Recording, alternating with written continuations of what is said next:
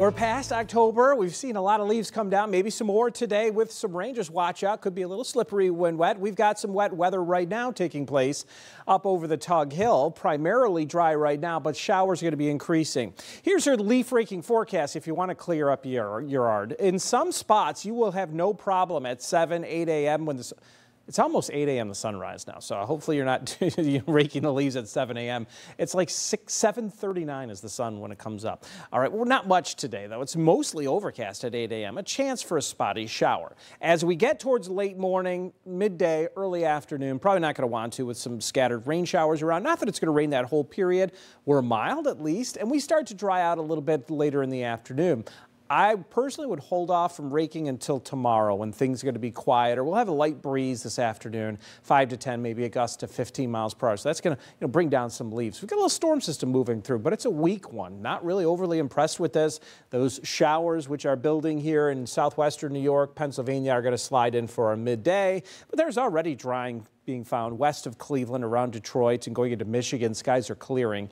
I do think we'll get into that drier air late this evening and some clearing, but that'll only allow our temperature to go down, and we're going to see some low clouds and fog form. Only a slight temperature drop behind this, then high pressure is going to be building in, and it's going to be with us for a while, and it's going to be warming us up as well.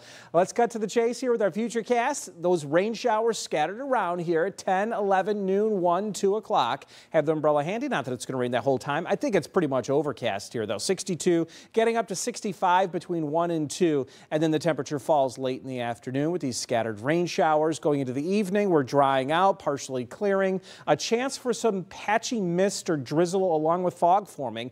And after midnight, it could be locally dense. You see how obscured it is here with the white and gray. So it's either clouds, low clouds, or some fog around that could impact your Wednesday morning commute. By the Wednesday evening commute, clears out nicely, but that process to clear is going to take a while.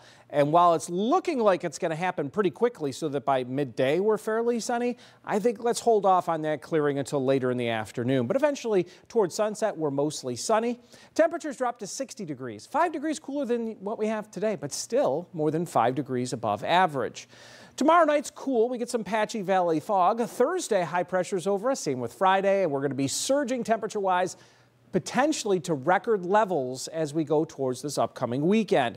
So we'll see 65 mild degrees today with clouds and scattered showers. A touch of a wind this afternoon. Less wind tomorrow as we clear on out 60 degrees and then temperatures go up with the sunshine. My pick day is Friday 71 gorgeous with lots of sunshine. Clouds increase on Saturday. We've got the Veterans Parade on that day. The record is 73. I say we outdo it with 74. 75 ties a record on Sunday with mainly afternoon showers showers, morning showers for the cold front on Monday.